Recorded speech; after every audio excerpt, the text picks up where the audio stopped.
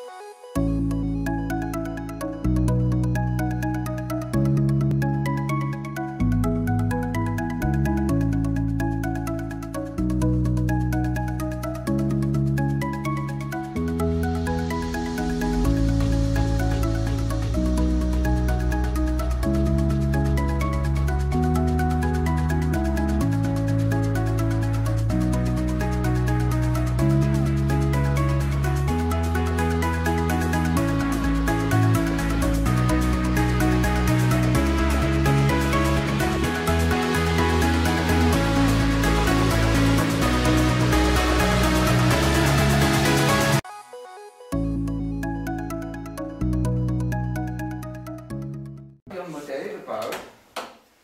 Könnte so ein Elektromagnet darstellen. Aus einer Spule.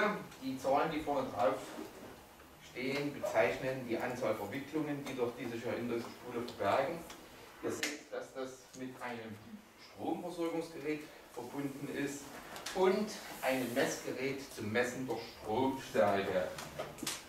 Wenn ich das Ganze jetzt mal einschalte, seht ihr am Zeigerausschlag, dass ein Strom fließt. Ich glaube, das ist das Maximum, was wir gerade machen.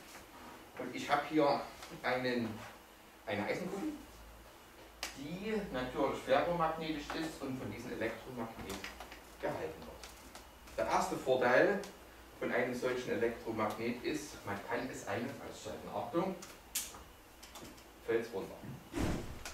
An. Mit diesem Experiment kann man aber auch ein paar Dinge simulieren, wovon hängt denn eurer Meinung nach die Stärke des magnetischen Feldes von einer solchen Stromführspule. Bitte nochmal. Ähm, wie dicht die Spulen aneinander sind. Also Diese, diese Wicklungen, genau. das stimmt.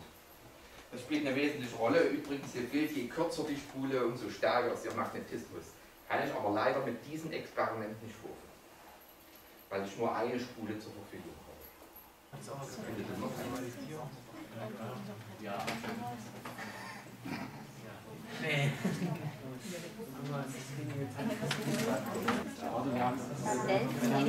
Äh,